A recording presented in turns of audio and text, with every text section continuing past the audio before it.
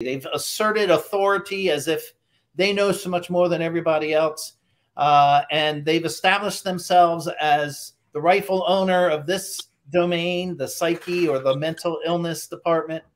Uh, and, and now the church is fighting to get back the authority that we always had. You, you remember the little house on the prairie when people had problems, they went to see the pastor in the town. That, that's yeah. what it used to be, but not now.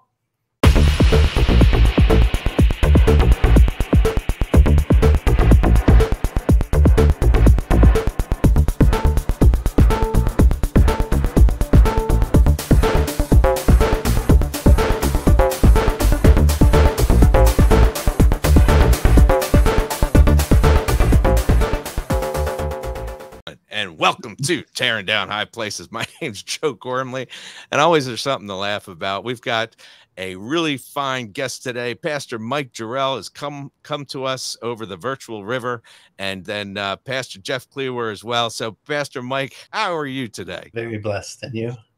Better than I deserve. Pastor Jeff, how are you? Better than I deserve. Wonderful. Mm-hmm. So let's dig in, guys. Mike, Pastor Mike, can you can you just share a little bit about you and your church and uh, where where are you coming from here? Sure. I've been a pastor for 40 plus years now. This is my third church. Been here uh, for 24 years in our 24th year. Uh, we're associated with the Evangelical Free Churches of America. We're in the far northeast of Philly, uh, almost out into Bensalem and Feasterville in that area and I'm married and have two children. My son is also uh, in ministry out in Harrisburg area. My daughter is a neonatal uh, nurse practitioner. Five grandchildren, and very very blessed. That's great. And how'd you guys meet, Jeff? You and you and Mike. How'd you guys connect? Um, we have a cluster group of fellow pastors from the Free Church, and we've been meeting what for like four years. Longer, longer than that, yeah. Yeah, for years and years. We meet at the diner and we talk theology and life and ministry and iron sharpens iron. So I, I have mm-hmm. learned a ton from this brother. That's why we invited him on. Wow, wow, that is that is uh, that's a big one because uh, you are my go-to. So that's great, Mike. You're you're uh, influencing my my uh, my mentor here. So I'm so mm-hmm. excited to uh, to make your acquaintance. And, and, we talked about a few possible subjects today. And mm-hmm. honestly, mm-hmm. Jeff, I told I told Pastor Mike already. The one that got me the most excited was psychology, digging into psychology. And actually, so we have a Monday night men's group, and they asked, you know, what what books we might we look at uh, for that. And I had suggested Competent to Counsel, which is mm-hmm. Jay Adams' first of I think a hundred books. Did he write a hundred books, Mike? You probably know. Um, pr- probably close to it. Yeah. so for the audience, Pastor, uh, Pastor, who is Jay Adams? Why do I bring him up? Uh, he's probably the pioneer in biblical counseling and in Christian circles, especially those of us who are evangelical and conservative. He saw long ago how the world was trying to strip away uh, from the church and from us pastors the authority that we have in God's word and therefore our ability to help people. So little by little, they've been funneling people away from where they can get the best help, and that is in the spiritual life and mm. from scripture. So it's he's he saw that long ago and preached on it pretty hard, and uh, he's someone that I revere very highly. So would that be a good book for a men's study, the competent counselor, or is there some another one you might recommend? Uh, I think it is. I'm terrible at book names. There's lots of good ones out there. Um, he, the the essence of that particular book is reminding us that the spirit-filled Christian has more help, uh, more is more used of God to help you with your psychological issues than the unsaved expert with a dozen degrees. Um, the, the Christian has what we need to please the Lord, to live a life that's that's pleasing to Him and power filled and over able to overcome sin. So why are we going to the secular world? I don't know, Pastor Pastor Jeff. You're training ministers, right? You want us all to have ministries, right? Mm-hmm. Yeah, absolutely. And notice that we don't send you to uh, the local university to their psych department to learn how to do that. We just open the scripture and believe that there's power in the word of God for transformation, which seems to be like so lost on our generation. One of the areas that I think about is like with this same-sex attracted Christianity, Sam Allberry and Preston Sprinkle and all of these uh, teachers are now saying that you'll always be gay as your identity, even after you get saved, as long as you don't practice it outwardly, in you know physically, then um, then you're fine. But doesn't the Word of God have the power to transform how we think, how we identify, like everything about us from the inside out? There's power in the Spirit of the living God, in the Word of God, to be conformed to the image of Jesus Christ. And mm-hmm. I think that's what biblical counseling does. Whatever the issue, that particular one, or any other issue of sin in our lives, the power is in God. And mm-hmm. He's given His word to instruct us. Right. So that's the bottom line for me. I agree. Yeah. How would you compare, Pastor Mike? How would you compare um, psychology's purpose versus biblical counseling's purpose? Uh, you're talking about secular psychology, I assume. Right. Oh yeah, yeah. I guess. I, yeah. should I use a different term? I mean, how do I, I, you know, how do I do that? How do I speak about it properly as a Christian? Well, it, it, you're saying it right, but we have to be careful because I even find myself many times we start talking and I'm narrowly thinking of the biblical counseling field, and other people are thinking of the broader field. But even there, the word psychology and psychiatry, which was the staple for so many years, now has as the as the world does, the secular left, they constantly are working on changing terms. So now it's mental illness. But psychology and psychiatry comes from psyche, which is a Greek word in our Bibles, where it tells us we're to love the Lord our God with all of our heart, soul, mind, and strength. Our soul is our psyche. Uh, so psyche is originally a, a correct term, and I'm not. I don't have a problem with the mental word either but the, but why why did why are they changing it? Why the emphasis on mental illness?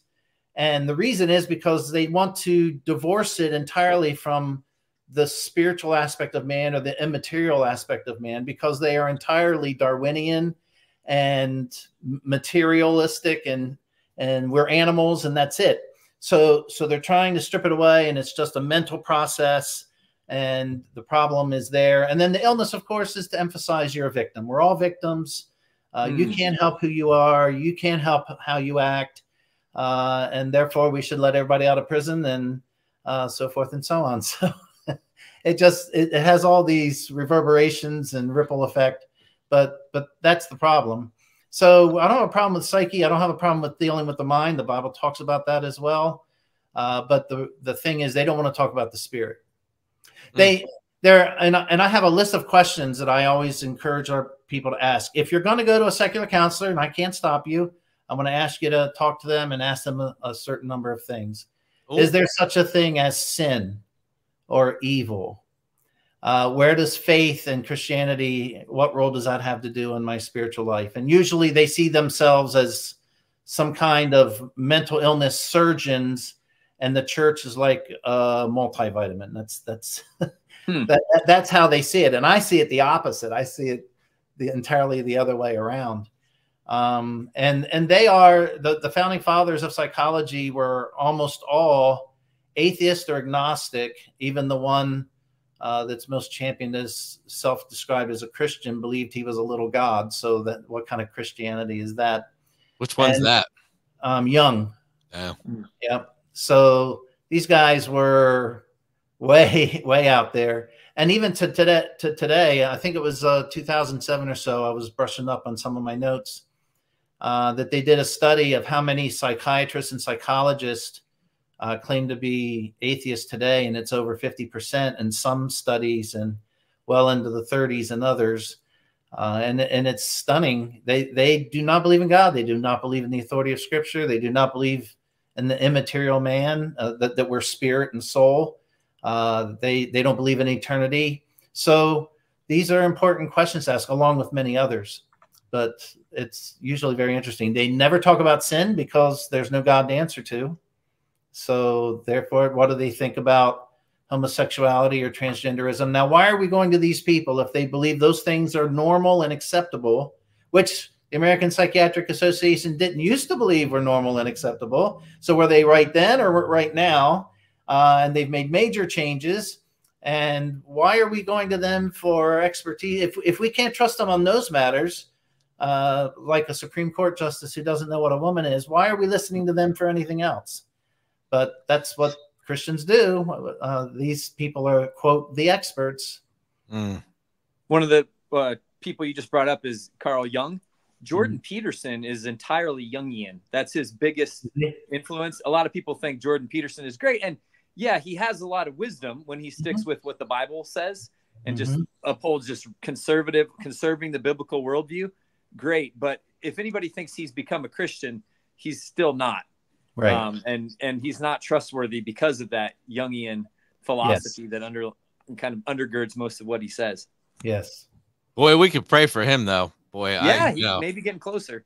Yeah, I mean, I, I, think that would be that would just be such a blessing if God would just save him, and and uh, yeah. because he's got such a following, and you know, mm-hmm. he's already preaching out of the Bible. He's just not. He's he's trying to teach. He's not preaching, right? Yeah, right. I don't I don't know him too well, but the little bit that I do, he has a lot of common sense or awareness of the dangers of the left for sure. Sure. Yeah. So how how does a how does a Christian deal with psychology? I mean, psychology is dealt. I don't think I don't think most people are really aware of how uh, entrenched psychology is in our schools and our colleges. All these things, like Pastor Jeff was just bringing up. I mean, how do we fight against psychology's influence in the culture? Oh, it's uh, pervasive. It's ev- it's everywhere. Uh, even in the language that Christians use when they talk about things like, "Well, I'm hard hardwired to do this," and and uh, I'm programmed to do that, and talk about uh, in electronics terms or technological terms. Uh, those are borrowed from psychology. Um, mm-hmm. there's so, there's so many things, and these days, even even people who are selling cookies are hiring psychologists to know how to be more effective at doing that, right? So it, it's it's really tricky uh, how they work, and we need to be careful about how they use the tools of Satan. Why shouldn't we fight for Christians to be exempt from psychological analysis? Well, we should. I, I, this this is a major problem. Uh, in fact, so much so, uh, you know, Christians are always wanting to keep the spiritual world from invading the secular world. And to some extent, we agree with that after uh, our escape from Europe and all of the wars between the Catholics and Protestants and all of that. Uh, but now we've become so divided and broken down. And what the secular world wants to do is keep stripping away the spiritual and the moral mm-hmm. away from the church so that we have nothing left to talk about. and then they commandeer it with certain authority. But in California, for instance, Governor Newsom uh, has passed laws that strip authority from parents over their own children concerning puberty blockers and having uh, reassignment surgery. Parents have no authority. So if we don't wake up soon, they are going to take everything from us. Everything, everything. They're, they're in the process now. Uh, the governor in Illinois has just passed a law that it's you you will be considered a, an abusive parent if you do not aid your children in those things that that wickedness. So they they are coming after us hard and we're we're just on the cutting edge of some of that but it's it's going to start hitting us hard. And it's already hitting some people in some families where their kids are being taken away from them. I i hear that. Mm-hmm. know all about it personally actually. I actually met a guy in uh, dc who spent 1.2 million dollars in Texas trying to prevent his uh, pediatric wife um, from transgenderizing his eight-year-old. Mm-hmm. Uh, after about four or five years, she was able to convince a judge to move to California, and we're waiting to see what happens. Well, and and that's how the world works. Everyone thinks, well, that's just a rare case of a situation I don't know much about. I'm too busy to get involved in all of that. Mm-hmm. But this is uh, um, what what I call being a worldview squatter. Uh, we have a problem with that too these days, right? Uh, people go, leave their vacation home for a few weeks. Somebody breaks in. Now they own the place, and you have to jump through all kinds of hoops to get them out but but that's what's happened with psychiatry and psychology. They've asserted authority as if they know so much more than everybody else. uh, and they've established themselves as the rightful owner of this domain, the psyche or the mental illness department. Uh, and and now the church is fighting to get back the authority that we always had. You, you remember the little house on the prairie when people had problems, they went to see the pastor in the town. That, yeah. That's what it used to be, but not now. We so, worldview squatter. Tell me what that is. What is a worldview squatter? Well, uh, it's it's like what happened this past week with the Roman Catholic football kicker. Mm-hmm. Uh, he speaks truth that this country has always believed for hundreds of years, oh, and they're yeah. going crazy. How can he talk like that? We need to suppress this kind of thing. They act as if they have been in the driver's seat from the beginning. Right. They, they, were never in the driver's seat. But but people go, oh, oh yeah, we better listen to them. no, why are we? Listening? You know what else they do is they borrow the capital from our worldview to make sense of theirs. Yes. So in their atheistic worldview, Darwinian evolution, there is no justice. How could there be a standard of justice when there's no God and there's all that's going to be a million mm. years from now in their worldview is just the I guess the the sun would have swallowed up this earth. Yes. And there will be nothing, just nothingness. So how would there be a sense of right or wrong? What they Correct. do when they they they claim they're advocating for justice for the oppressed, all of that is squatting on our worldview. Sure. Because sure. we have the image of God in man, and so each individual has value. Only yes. they're taking what is our concept of human rights and individual rights and the image of God in man, and they're twisting it for something that's completely contrary the the word of God. Yes. So they're squatting on our worldview that way too. I yes, see. A, I see a T-shirt coming out soon. This is, this, is, this is a T-shirt for sure. Well, yeah. they, they do. They, they they talk as if they are the authority. They know what they're talking about. This has always been this way. Right. And and and people are so ignorant and forgetful that they don't even speak up to that. They just accept it as truth. And we need to be thinking. We need to be speaking out. We need to say that's not the way it is. That's that's wrong. You know that guy. Did, did, did you guys either? Did you notice any of the squishy church commentary on the the the guy you're talking about? I didn't know he's Catholic, but the guy that spoke the, from the Kansas City yeah. Chiefs. What's his name? Butcher. Butker. Butker. Butker. Did you notice any of the Gray Church commentary? Like they said, well, he's not really uplifting women the way that they should. I got a couple comments where they're pointing to to uh, uh, Proverbs 31, and uh, and I'm like, even our own Christians, you know, a big chunk of our Christians don't understand. He wasn't where our worldview enough. comes from. No, Butker wasn't using enough nuance. Yeah. Yeah, crazy. I, I, I give him a lot of credit for speaking out, but yes. man, people people are screaming from ESPN to all the t- the bobbing heads on TV that to have the NFL sanction him and kick him off the team, and you know they're not just worldview squatters; they're stormtroopers. It's hmm. it's awful. It is awful, and and it and it's all steeped in. uh I mean, psychology is one of their big weapons to to mm-hmm. to to to take the worldview. Of, I mean, the only time psychology does any good, I mean, they're they're like a broken clock. They're they're right twice a day, or when they quote the Bible, mm-hmm. Hmm. plagiarize the Bible.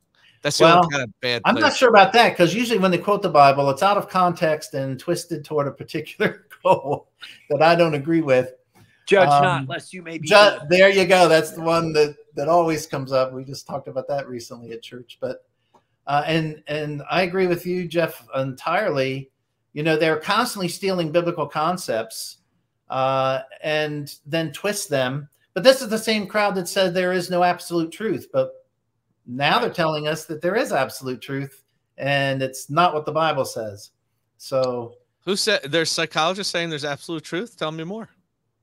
Well, they're saying every time they say that uh, homosexual is born this way, even uh, though their studies disprove that. so, but you know, we're always putting forth a theory as truth, whether it's evolution or monetary theory or whatever else it is. Uh, and it's contrary to scripture, but you can't argue it, and uh, you're wrong, and you're oppressive, and and you're judgmental and you're hurting uh, children's images of themselves and their self-esteem and on and on it goes. So they just say it's settled science. It's settled, settled science. science. Yeah. Yep. So not good. So um yeah so what are the other so we're, we're tearing down high places. Psychology completely a high place needs to be torn down. I, I personally think, yeah, I, if we could just extract that out of the culture, that would be horrible. What are some other high places we want to tear down? Because we had a little email conversation back and forth, and you guys were chatting about a couple other high places. I yield to your interest. Ah. well, I tell you what. So one of the things they do with psychology, uh, you know, we were talking about the family court where I, I personally was forced to use a psychologist against my will, and they would have taken my gun away if I had one, but I didn't at the time. Second um, Amendment. I knew you were going Second Amendment, Joe. so, Mike, tell us what tell us what the problem is. Why is that a high place? Why why should Christians care about the Second Amendment? Why should we care? Well, the Bible doesn't speak a whole lot to that uh, by means of uh, a numerous amount of scripture, but it does speak to that in prominent ways. Uh, let's think of Esther. Esther, uh, in a time when Haman wanted to destroy the Jewish people, and God worked in their behalf. And do you remember the last couple of chapters mm-hmm. in the book of Esther? Uh, when she spoke up for her people, the king said, I can't remember the law of the Medes and Persians. You couldn't change it, but you could make another law. And so the law was given permission to exterminate the Jews, but then he gave another law that the Jews could fight for themselves and defend themselves. And they did. They came together and they vanquished their enemies and by the thousands and uh, saw a great victory. A lot of people forget about those last two chapters. We're just excited that right. Haman got dealt with, but but that that was just the beginning of the battle. That the battle then went into the hands of the people.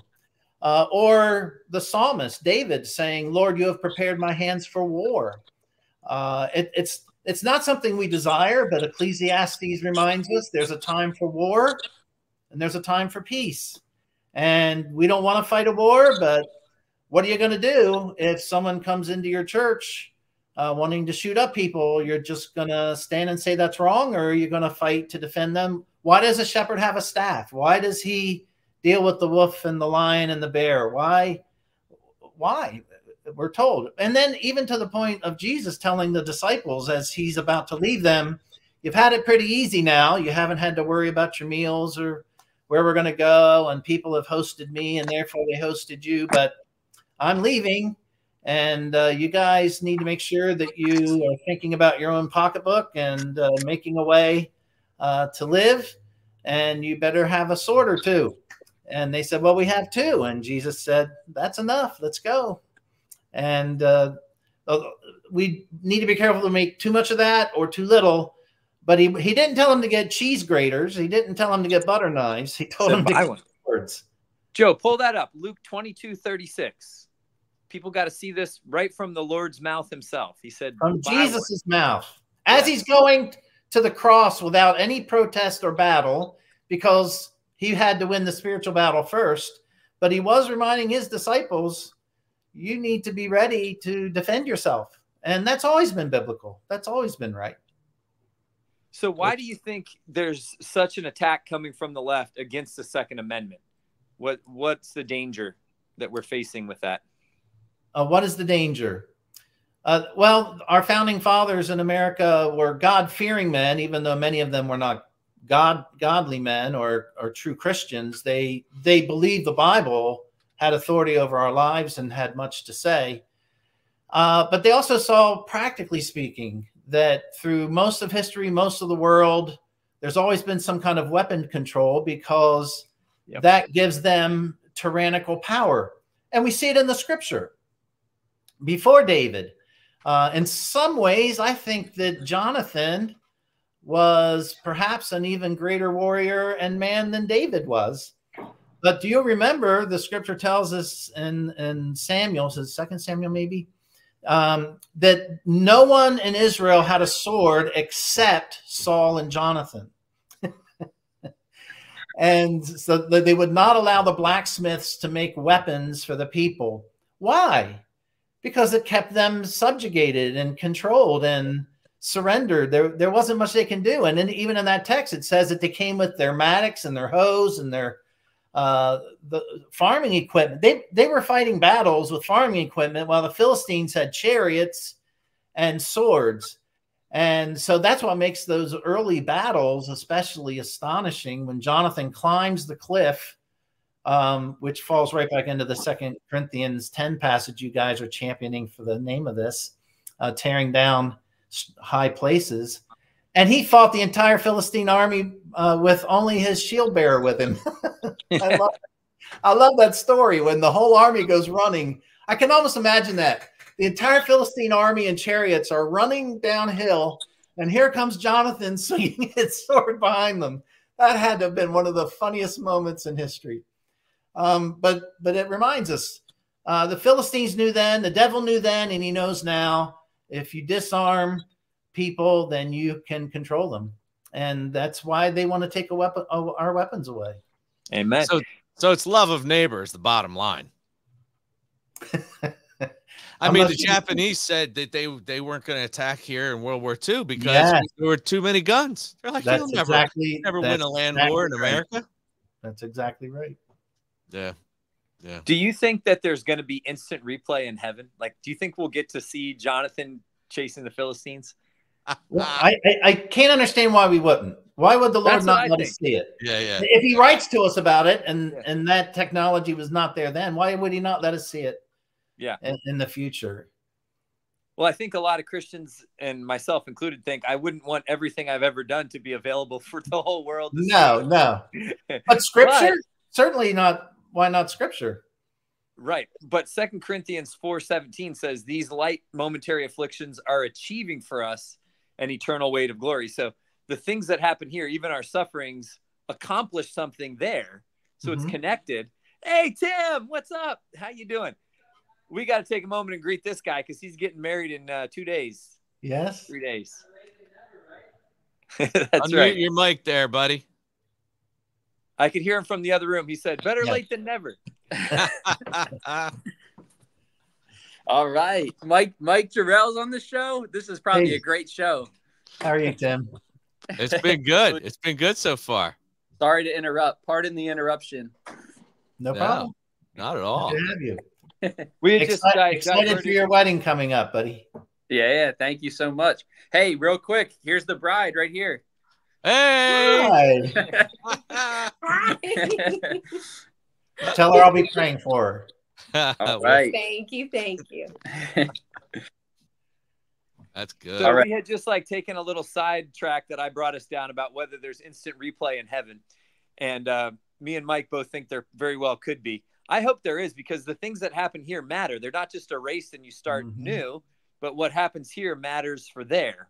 Mm-hmm. So I think that all of these things matter. We're probably going to be able to see it, but there won't be any shame because everything will be covered by the blood of Jesus and we'll recognize right. how even what was evil in this world has worked together for good and it'll bring more glory to God. So we'll we'll delight in the glory it brings to Christ. But I do think we're going to get to see the uh, the reruns Maybe there'll be a uh, maybe there'll yeah. be like a God Center top ten.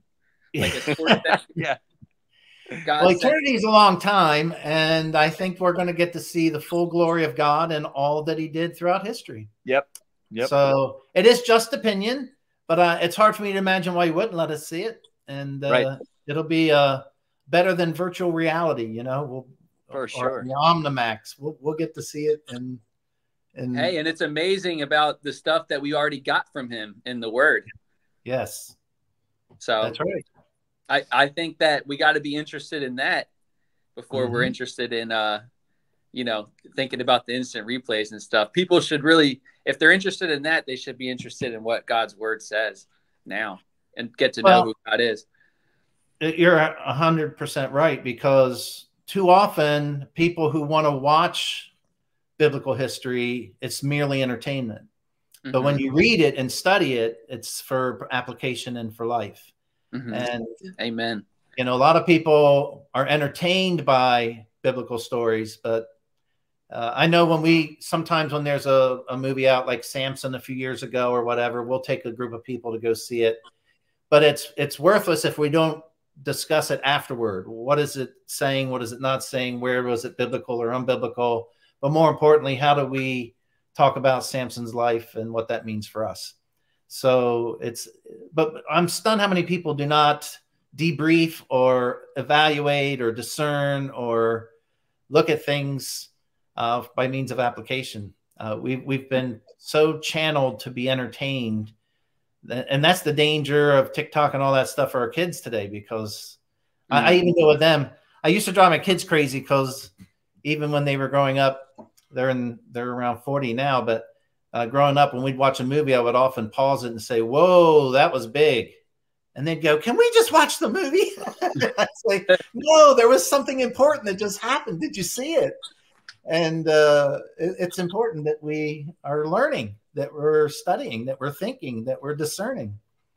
So I'm mm. thinking, Mike, out of the topics that you talked about that were high places, there's probably two you could go to off of what you just said. You could either go down the work ethic route or the parenting route, or parenting your children to have a good work ethic. That you know, any of those would probably work.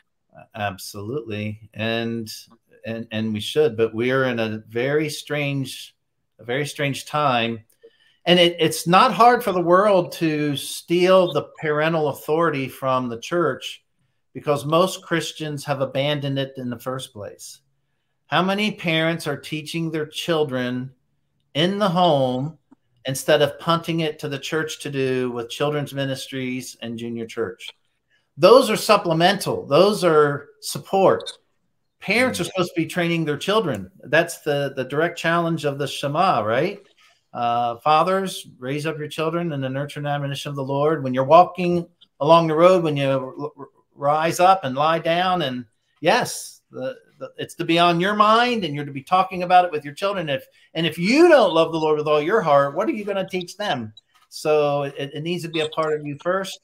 Uh, but that parenting parental authority can't just be kicked away or punted uh, to the school systems to psychiatrists even to the church. But that's what most christian parents do unfortunately. But well, we hire christian schools to teach our kids the church to, to teach our kids but they're watching your life even more than all of that.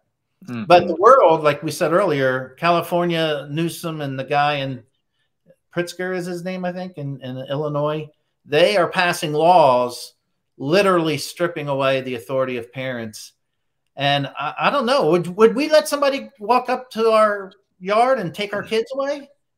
That if if there there are a few things that'll make me more willing to fight tooth and nail, physical fight, grab a weapon than that.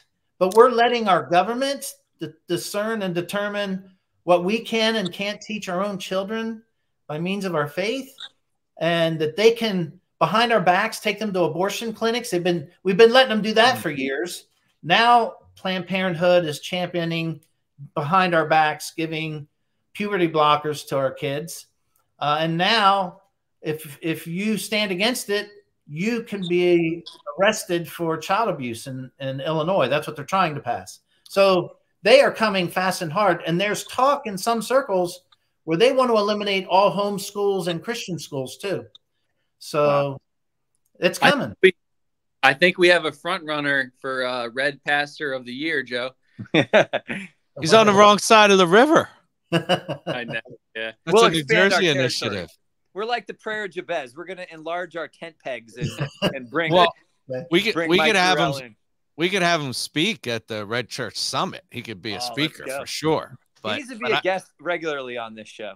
Ah, yeah, I know. Like you, hey, but I'm confused, Mike. I, I mean, shouldn't we let the government take our children because of Romans 13? I mean, what if they really want them and they claim authority? They say they're in charge. You got to submit. Got to um, submit, Mike. You have to obey God rather than men.